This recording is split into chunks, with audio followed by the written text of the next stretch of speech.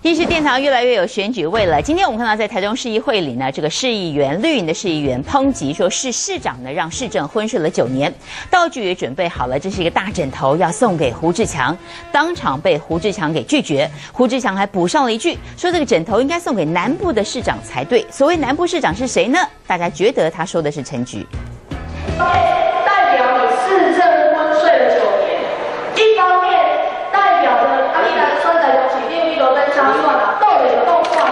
绿营议员联袂市政总执询搬出道具枕头，就此点燃战火。我想这个应该送到有在被人家质疑睡觉的市长那里去了。你不要伤害南部的市长感情了。我想不要把把枕头拿来是休息。议员抱枕头走向市长席着睡觉的用品，让胡志强打太极，试图击退明代的道具攻势。没想到这个时候。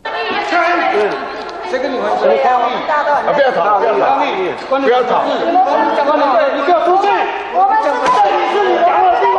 社会处长张国辉派桌抗议，激怒绿营市议员，擦枪走火，差点打了起来。官员明代吵架的音量一个比一个还要高，胡志强只有劝架的份。